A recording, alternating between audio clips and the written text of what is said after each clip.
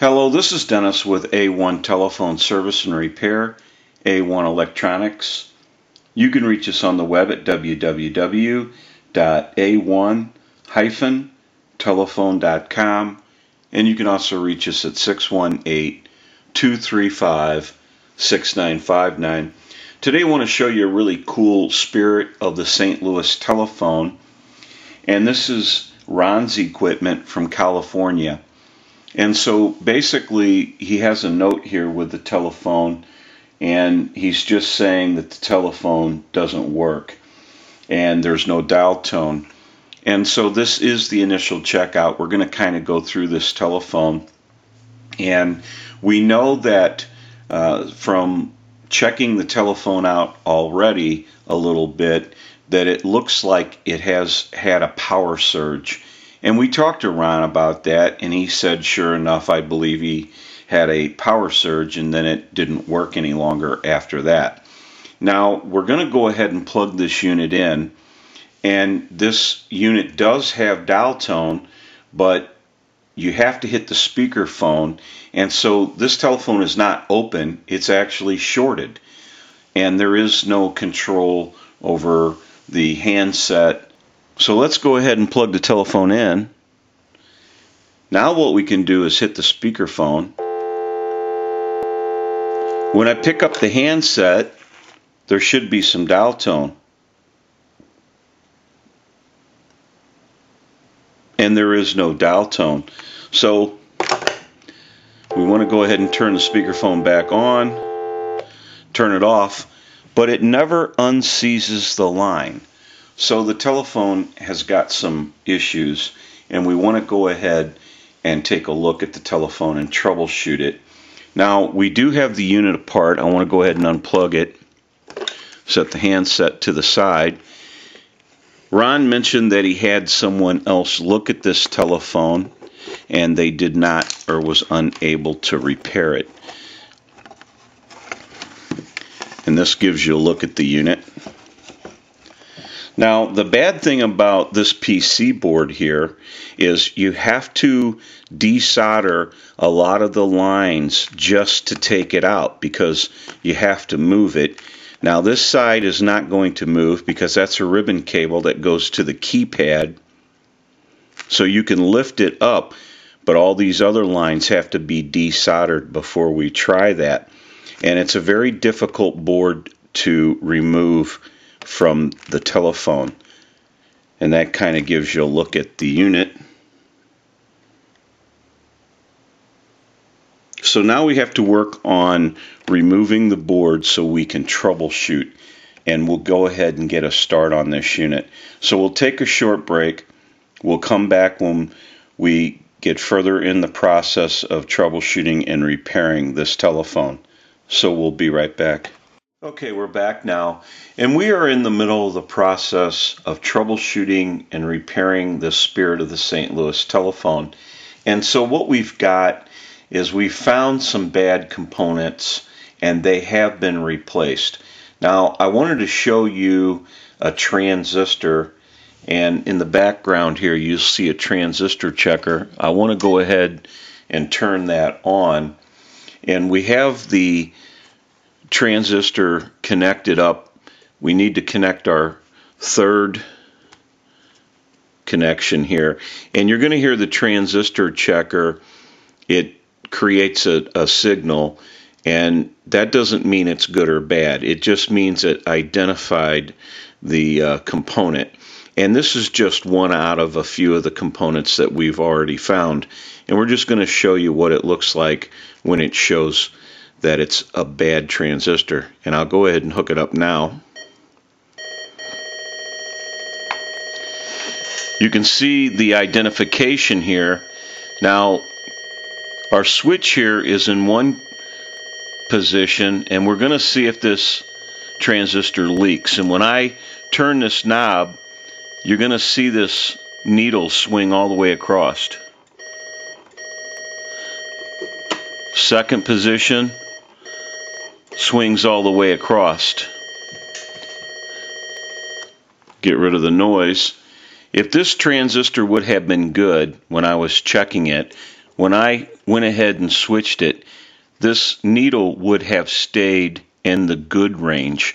Instead, it shot all the way across in both modes. And that means that it's directly shorted.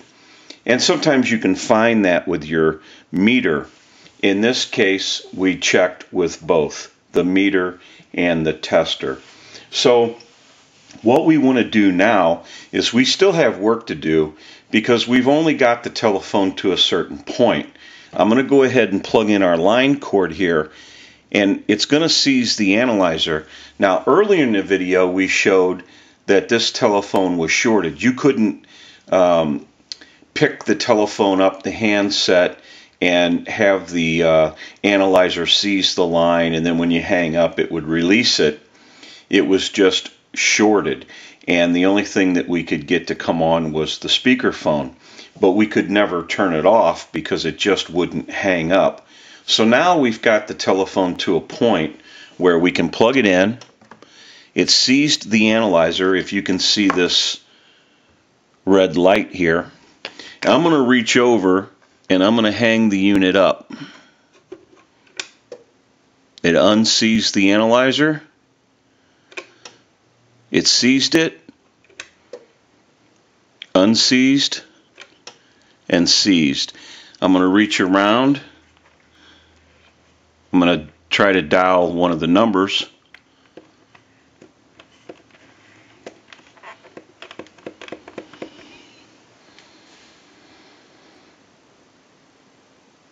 It still doesn't dial.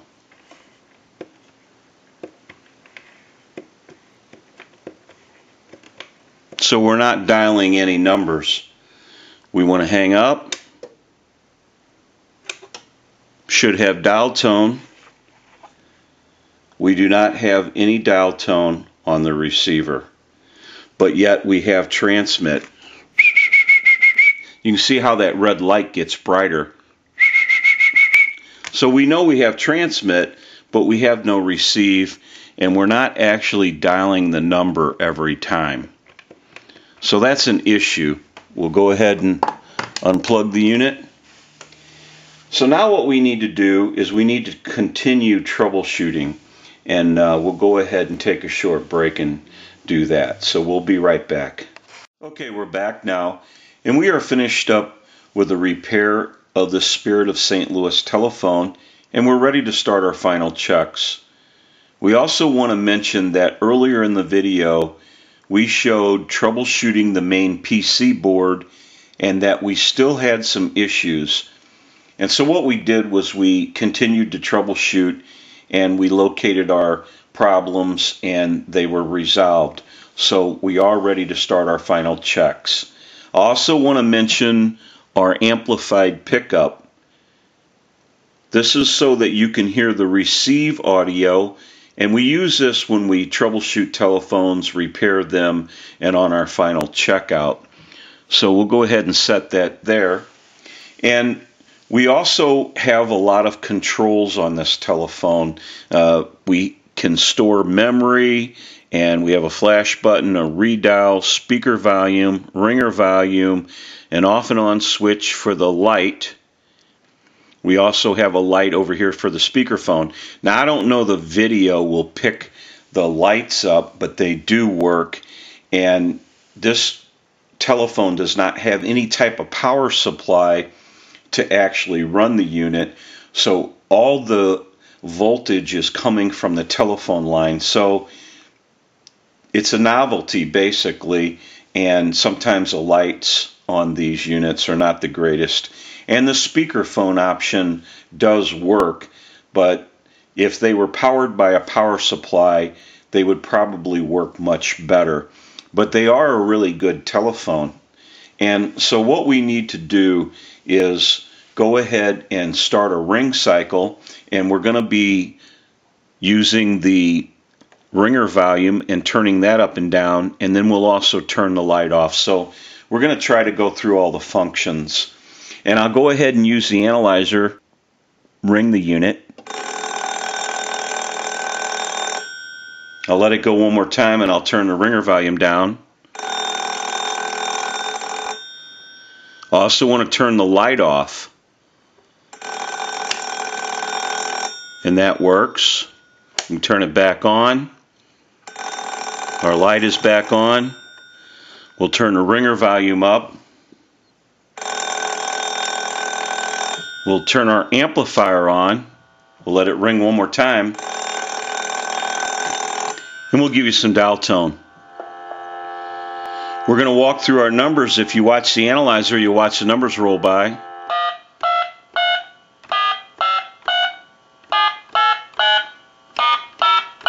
I'm going to end in a 2. Now what I want to do is hit the flash button and the redial. So this will give a style tone and redial. The analyzer will end in a 2. Now what we can do is we can go ahead and hang up and I'm going to store a number. And you will not hear any tones. You have to have the handset off and laid down or you got to hold the handset. You hit the store button, the number that you want to store, then you hit memory button and the location that you want it in. So we're going to go ahead and hang up, give you some dial tone, press the store button. I'm going to store my number at the shop here. I want to hit the memory button and 1. So when I hit flash, I should be able to hit memory and 1. The analyzer is going to read back my number at the shop here, and it did. Now we're going to try that one more time. Hang up. Hit the store button. I'm going to store a time and temp number that we use. Memory 2 hit the flash button, memory 2.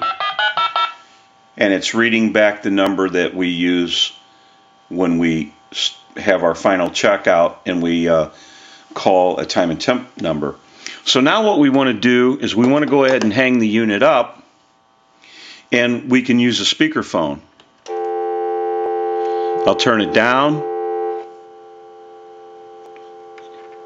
I'm going to tap on the microphone after I dial a 2. And if you see that red light, that red light is an indication of 100% modulation on transmit. And these do work. It would pick me up right now, although you don't really see the light flashing. But like I said earlier, the speakerphone option is not power driven really other than the phone line. So it's it's a novelty. There are good telephones but the speakerphone part is a little iffy if you you know wanted to use it every day. You need to get as close to the speakerphone as you can. But we want to go ahead and hang up. We want to give dial tone. I'm going to turn the unit up I'm going to hit memory 2 and it's going to dial the number that we want back. I'm going to hang up, give you dial tone, hit memory 1 and it read my number back at the shop here. So now what we can do is I have a button on the switch box. We want to go ahead and hang up, hang up this button, when I push it, gives us a line out and totally takes the analyzer out of the situation.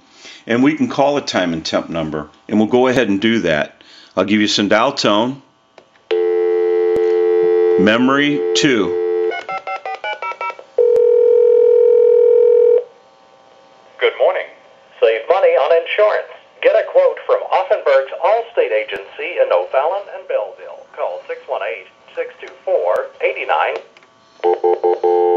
We can call my number and it'll be busy.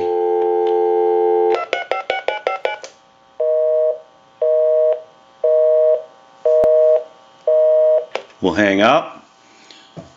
We'll try the handset, give you some dial tone. I'll go ahead and dial the number out this time.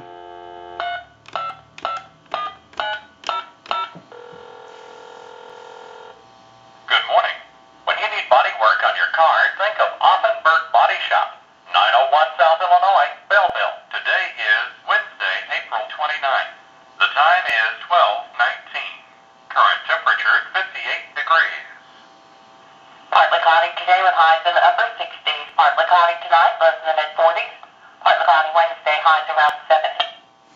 I'll hit flash. We'll call my number and it'll be busy.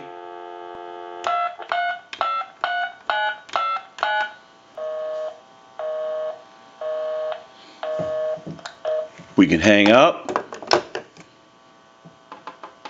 Turn the amplifier off. I want to go back to our analyzer.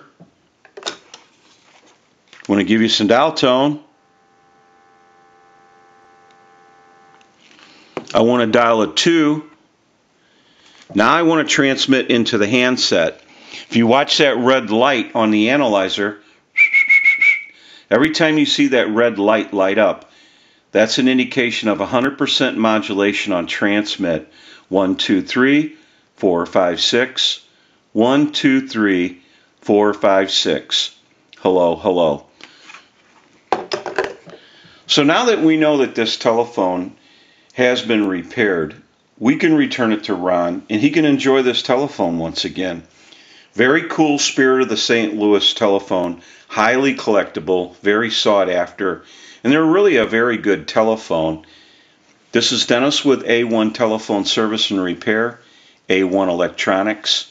You can reach us on the web at www.a1-telephone.com and you can also reach us at 618 235 6959. Thank you for watching and have a great day.